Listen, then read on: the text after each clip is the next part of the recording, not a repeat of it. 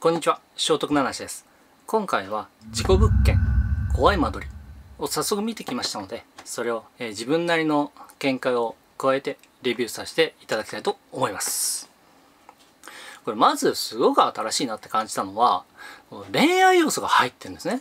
で、テレビ関係のことでスタートする。要は業界ですよね。やむにやまれず事故物件に住むっていうことになってしまった。コンビ解散をしていろんなアイデアを出せる中井っていう人物は非常に魅力的なんですね。だからこそ焦るわけですよ。この亀梨和也さん演じる山野山根は受動的に事故物件に住むという形になるんですね。今回この映画で扱うのは4件の事故物件ですね。ここはがっつりネタバレしてしまうのでまだ見てないよっていう方は早めに劇場へ行ってそれからこちらに戻ってきてください。では行きます。このヤマメのファンっていうものが割とキーとなっていてファン兼霊が見える。そしてさらに業界人。だから3要素持ってるんですね。3つの役割。だからファンだけであるならば離れたらいいわけです。それで終わり。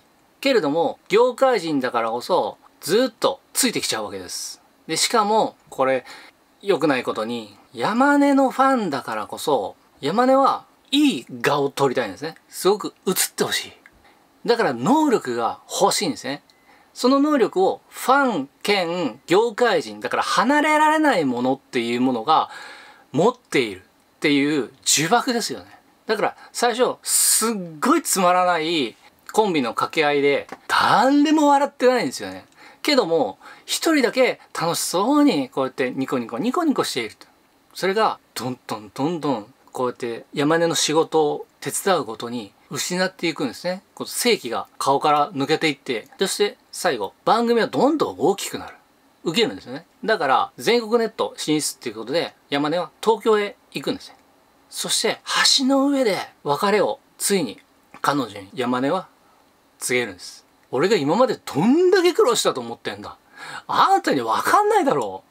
単なるファンだろっていうことですっごく傷つくんですけれども確かに追ってきた身としては勝手にファンやってるだけなんですよね。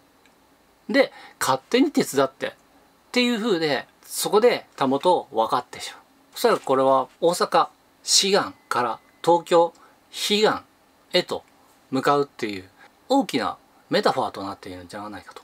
でそれを証拠に予告編の映像をゆっくり見てほしいんですよね。特に42秒あたりゆっくりゆっくり再生してみてください。あの倒れ込んでいく感じあの瞬間なんか変じゃないですか？あれ42秒って死にとも取れますよねで物件紹介してんの最後10件目の物件に住んでる。なのになんで4件しか紹介してないの？っていうとおそらくその途中すごく不思議な現象出てきましたよね。屋根裏から出てくるわ。冷蔵庫が開くわっていうあれ。そして確かたもとを沸かすさっき言いましたよね。だから彼女はいないはずなんですよ。でもっとおかしいほどになんで元相方がいきなり物件の中から現れるのっていう。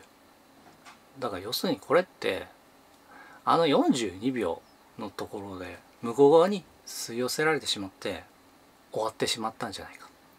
現にその後テレビ関係の業界関係者は出てこないんですよね。物件を紹介してくれる人は話として出てくるんですけれどもこれは一体本物であるかっていう証拠がどこにあるだろう？っていうそれが自分なりの解釈ですね。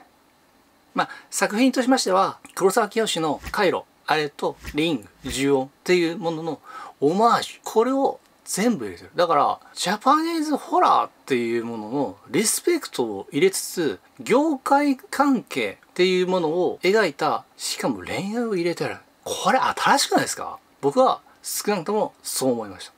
以上です。えもし、この動画を気に入ってくださった方は、チャンネル登録および高評価をよろしくお願いします。そして、この感想くださると非常に嬉しいです。ではまた次の映画でお会いしましょう。失礼します。